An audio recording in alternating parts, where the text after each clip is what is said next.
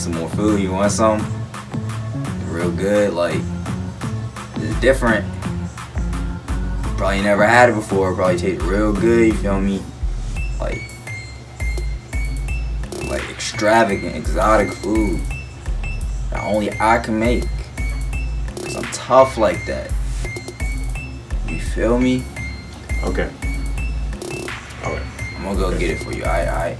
Yeah, alright, alright. Alright. Boom!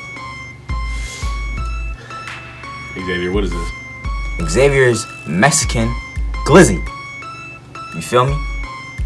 Look at it. Oh, calling your name and stuff. Bite me. That's what it's saying to you. Because it wants you to bite it because it looks so delicious, delectable, and just like, mm, it's calling your name. I know you want to bite it because it looks so good, so Xavier, appealing. Xavier, what the hell is a glizzy? Yeah, like a glizzy, a glit, hot dog. You feel me? Why do you call a hot dog a glizzy, Xavier? Cause yeah, it's a glizzy. Xavier, why is the hot dog wrapped in a tortilla?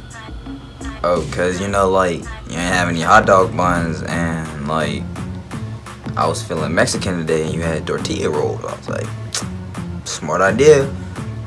Better have bread than no bread, so bam, tortilla, Mexican glizzy.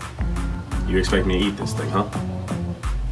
Yeah, it's gonna it's gonna taste good, bro. You like, you got trust me, bro. Like I made it. It's a Mexican glizzy. Never had that before, have you? No.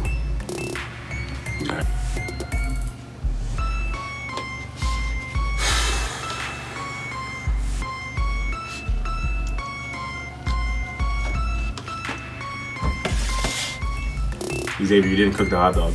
The glizzies came pre-cooked, so just shoved it on in there. You know, Xavier, you gotta you gotta boil it or grill. You have to heat up the hot dog before you eat it, Xavier. You gave me a raw hot dog, and then you put you put mustard and ketchup on the raw hot dog, and Like it wasn't not good because it was cooked. Like